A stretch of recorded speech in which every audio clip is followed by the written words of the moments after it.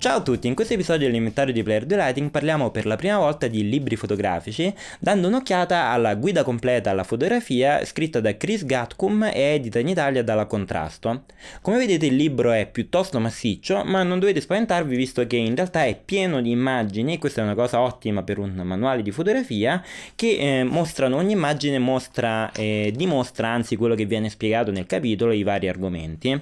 Il prezzo del libro si aggira sui 30 euro e per per un libro così grande di questa fattura credo che sia un prezzo molto buono, considerando che è un libro che effettivamente parla eh, di tutti gli argomenti base della fotografia sotto l'aspetto soprattutto tecnico, quindi non considerate questo come un libro di ispirazione creativa, visto che non parla dello stile, ma più che altro un manuale appunto per chi si sta avvicinando alla fotografia e vuole avere un punto di riferimento un po' per tutti quanti gli argomenti.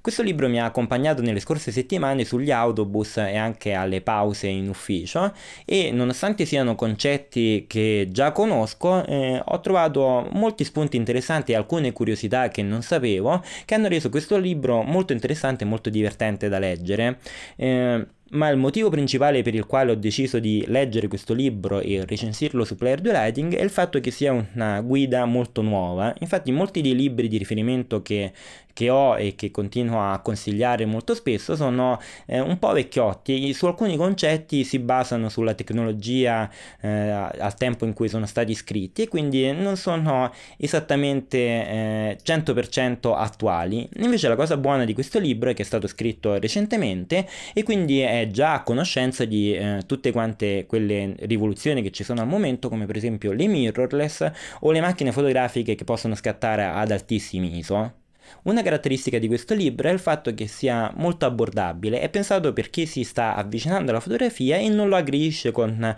eh, troppi tecnicismi o troppi concetti complessi. Insomma, eh, in tutto quanto il libro accompagna il lettore molto, in maniera molto gentile ai concetti sulla fotografia e per esempio è un, un esempio anche nell'introduzione, la parte storica della fotografia, invece di essere un capitolo con una storia scritto come un libro di storia normale, normale è solamente un diagramma cronologico in cui sono stati presi vari eventi eh, nel corso della storia della fotografia e, eh, ed effettivamente sono piccoli eh, piccole curiosità anche varie, eh, delle varie case produttrici e dei vari sviluppi tecnologici che sono anche utili da sapere come cultura generale fotografica. Andando a, a continuare a leggere il libro vediamo che eh, parte dalle basi della fotografia, quindi parte dall'esposizione, spiegando poi eh, tempo di scatto, apertura del diaframma, ISO e tutti gli argomenti sono dimostrati con una grande quantità di immagini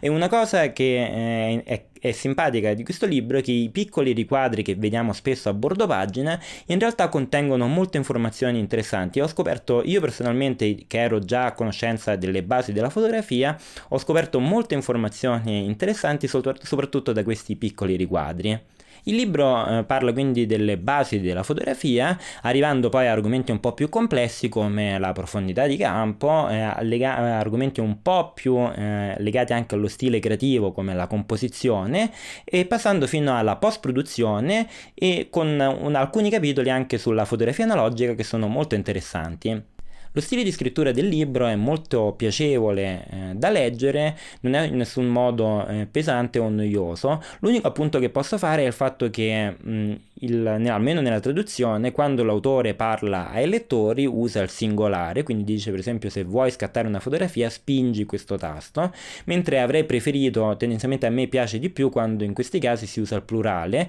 ovvero eh, se volete scattare una fotografia spingete questo tasto. Tendenzialmente secondo me per manuali tecnici o anche come video di fotografia è più naturale utilizzare plurale, ma non è assolutamente un problema, è soltanto una questione eh, stilistica, un mio gusto personale, quindi potrebbe non essere un problema per voi. Ma per quanto riguarda invece lo stile di insegnamento del fotografo che ha scritto il libro, sono assolutamente d'accordo su, sul, sul, sul, suo metodo di insegnamento e sulle sue idee. Infatti molto spesso eh, ripete il fatto che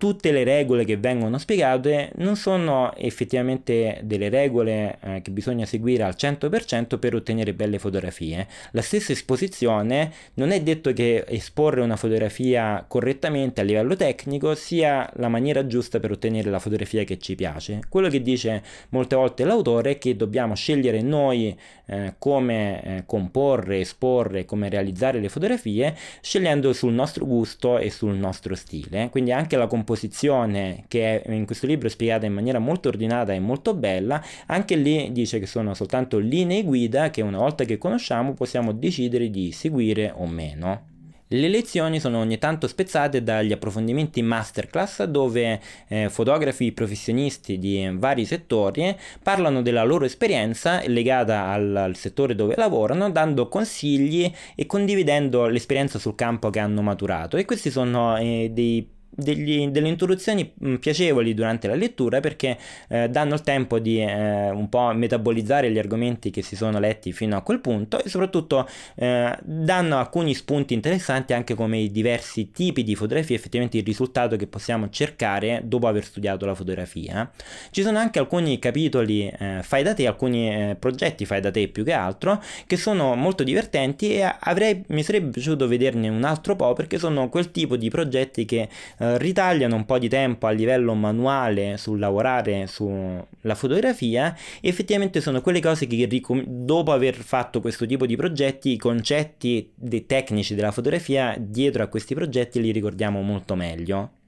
Per quanto riguarda la parte di post-produzione è ben bilanciata, ci sono alcuni libri che ho letto in passato che cominciano a parlare troppo di post-produzione in maniera un po' troppo approfondita, cosa che eh, facilmente diventa antiquata visto che i programmi si rinnovano in fretta, mentre qui tendenzialmente vengono spiegati anche per quanto riguarda la post-produzione più che altro i, i concetti, un po' il la, flusso di lavoro che c'è dietro alla parte di post-produzione, accennando ad alcuni problemi pratici più eh, incombenti quando si fanno fotografie, per esempio come ridimensionare le immagini in base all'utilizzo che ne dobbiamo fare e parla dei formati e di alcuni problemi a livello basilare su sui tipi di fotografia che possiamo scattare. Eh, di, una cosa che mi è piaciuta è che di, dei vari interventi di post produzione, per esempio anche su Lightroom o i programmi insomma, di conversione dei file RAW, eh, quando spiega eh, alcuni dei valori, come per esempio che posso dire dire la saturazione,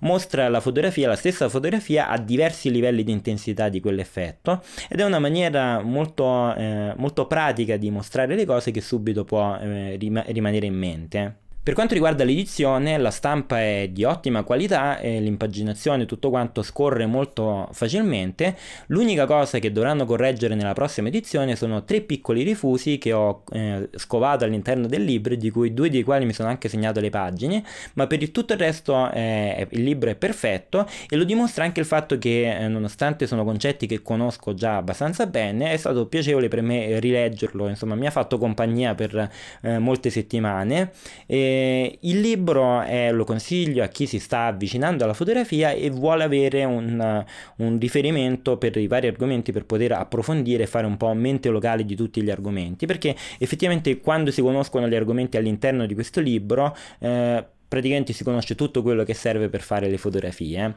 L'unica cosa che sento manca un po' in questo libro è una parte di esercizi, quindi non, il libro non ci guida eh, su come esercitarci sui vari argomenti, quello che dobbiamo fare è scegliere noi ogni tanto di fermarci e ripetere scattando le fotografie eh, i vari concetti che sono stati spiegati o eh, allo stesso modo può essere un ottimo testo da accompagnare per esempio a un corso di fotografia di persona persona oppure a dei video tutorial come per esempio quelli di Player 2 Lighting dove eh, può essere comodo avere eh, scritto su carta alcuni concetti per avere come ho detto una, una lista per fare in mente locale eh, il libro comunque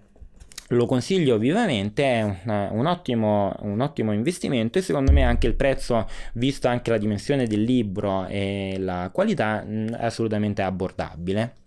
Se vi interessano altri libri di fotografia e soprattutto che li recensisca eh, durante il video di Player 2 Writing, eh, scrivetemi qui sui commenti oppure come sempre potete scrivermi su, per email o per tutte le altre eh, forme di contatto e social network. E inoltre se siete interessati ad altre fonti fotografiche, questa volta eh, dalle quali ho studiato in passato, potete andare sull'articolo che scrissi tempo fa su player2.com e che linkerò qui sul video nella descrizione, dove ho riportato una lista di fonti fotografiche dalle quali ho studiato e questi sono sia libri, eh, sia siti che continuo a consultare, eh, sia canali di YouTube che mh, mm, video tutorial eh, da comprare da poter guardare al computer. Per questo episodio è tutto, grazie per aver visto il video e ci vediamo al prossimo.